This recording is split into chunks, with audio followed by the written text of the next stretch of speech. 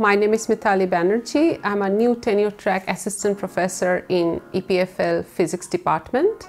My lab is Laboratory of Quantum Physics where we study topology and correlations.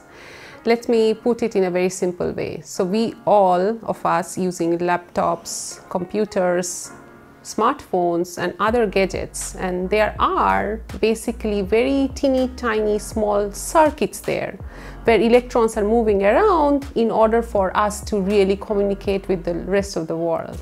And what I do in my lab is basically putting those circuits in extreme conditions like very low temperature, high magnetic field, and we want to see if those electrons are behaving differently. And you know what the surprise is? They do. So what we try to see is if these electrons which are actually in these extreme conditions are interacting with each other in a very fantastic manner can make our world a bit better in terms of technology.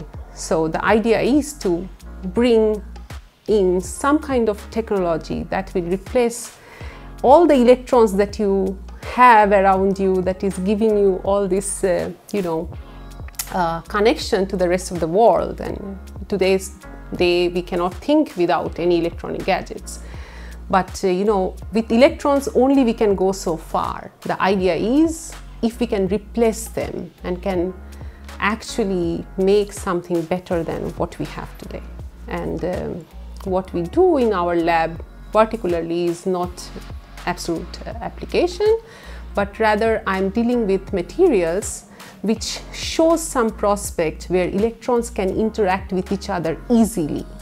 And one of such uh, material is graphene, which is basically uh, a monolayer of the graphite, the pencil that you use to write. So a single layer of that graphite is known as graphene, which is basically a sheet of carbon atoms, which are, you know, fit on a hexagonal lattice. And the idea is that when we have this sheet of graphene and we put it in low temperature and high magnetic field, the electrons behave way more differently than you can imagine.